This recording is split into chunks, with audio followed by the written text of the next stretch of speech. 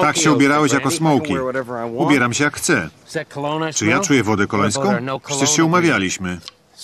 Smokey. Taką miał ksywę, jak się sprzedawał na ulicach.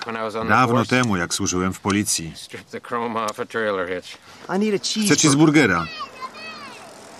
Dlatego się przebrałeś? Chcę cheeseburgera ze sklepu. Chyba nie wracasz na ulicę.